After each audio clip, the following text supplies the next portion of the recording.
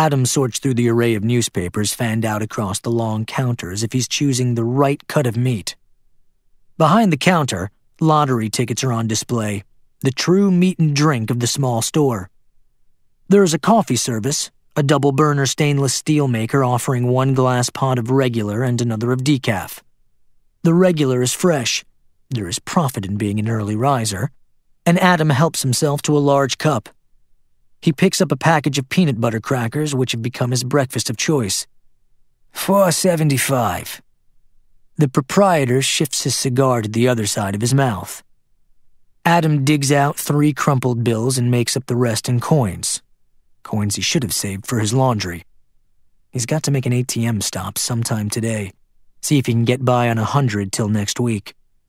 Maybe he better do it before the sentencing. The sentencing. A wave of dismay percolates through him.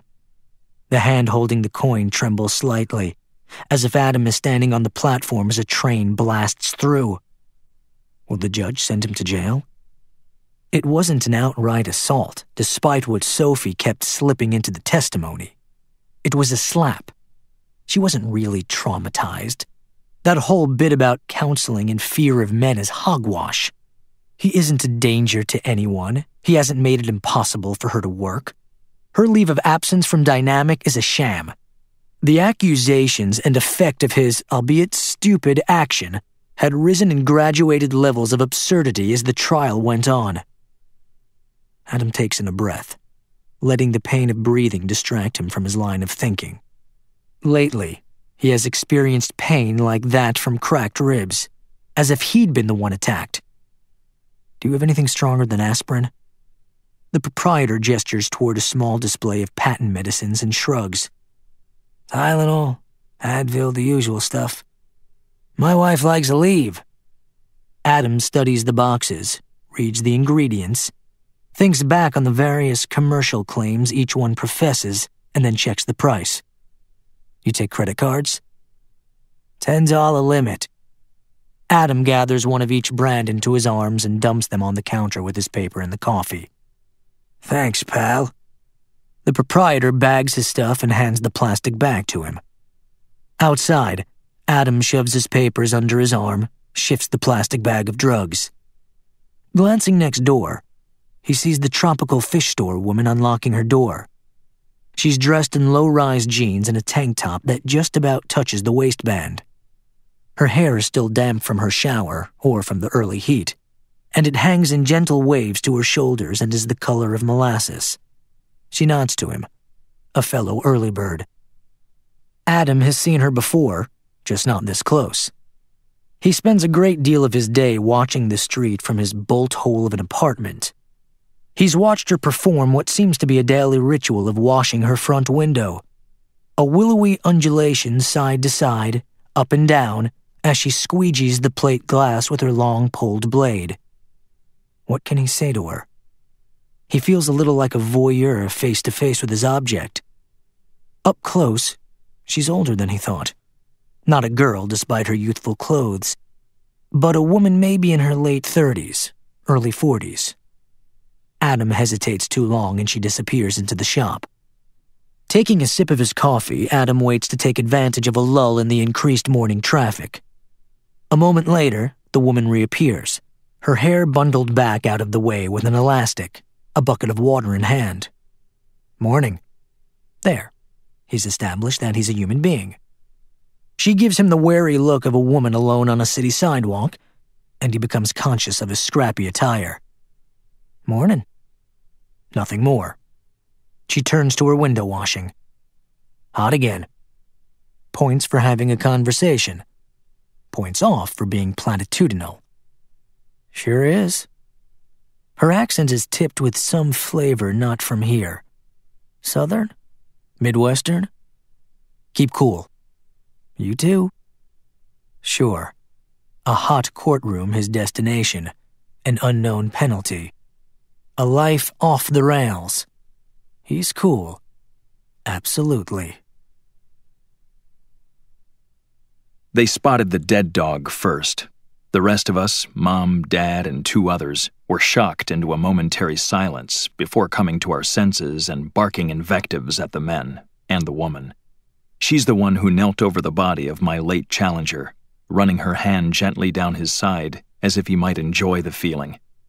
I stopped my noise to watch. Two uniformed men and one woman stood in our cellar and swore grandly at what they had come to see. It was a little stagey, their response, as if they were pleased to have been proven correct, that they had chosen well. I yarked. Mom and Dad shrank to the back of their cages. One of the others actually growled, catching the attention of the men, who stopped swearing and grimaced with some decision. I yarked some more, a little uncertain and more than curious. What did this visit really mean? The men carried poles with loops of lines sticking out of their hollow cores. The woman seemed more confident and unlatched the cage containing my mother and my siblings. Mom shrank back but was silent, which the woman took for a good thing. Come on, Mommy, I won't hurt you. I stopped my yarking, wanting to hear more of this voice. Fiddy, my dad, sat down and did something that was extraordinary in my mind, something I had never seen him do, but I understood immediately the reason for it.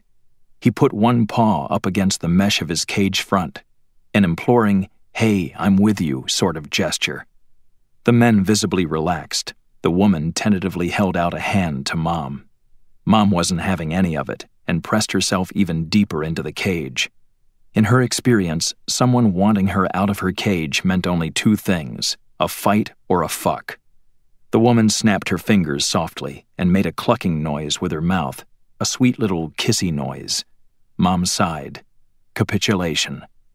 Slowly, my mother made her way to the woman's hand, sniffing it with wariness, wanting to be trussed.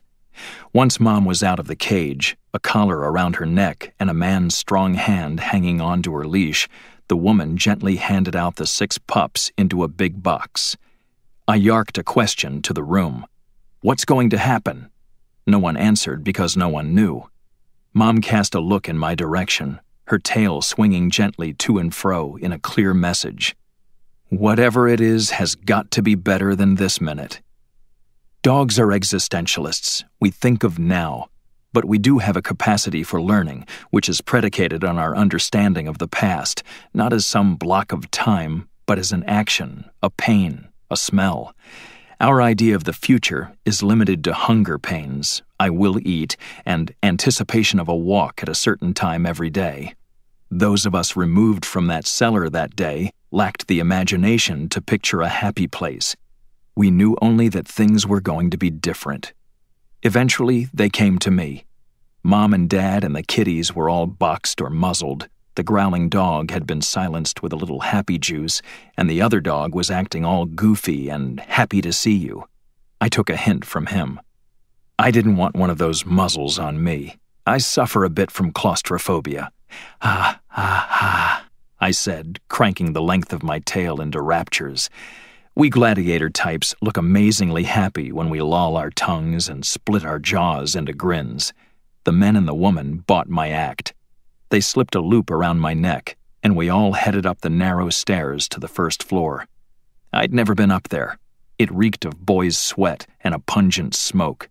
Pizza boxes lay on the floor, tantalizingly out of reach from my nose. As I was constrained by the rigid pole one of the men had in his grip, Beer cans were neatly stacked in a pyramid beneath the cracked window in the otherwise empty room. I didn't get to look around for very long, as we were quickly hustled out of the place and into the street. A white van with its back doors wide open idled at the sidewalk. One by one, my parents and the other two dogs were hoisted into cages in the back. We were used to cages and didn't protest. Before I was lifted in, another man, one I hadn't seen before, came out bearing the weight of my last competitor, wrapped in a slippery blue tarp. The man's face was grim, as if he was mourning the loss of a friend he'd only just been introduced to, or that he was sad to be right. There was a moment's inattention as the body of the dead dog wrapped in its slippery shroud slipped out of the man's grasp, thumping to the ground and leaving the empty blue plastic sheet in his arms.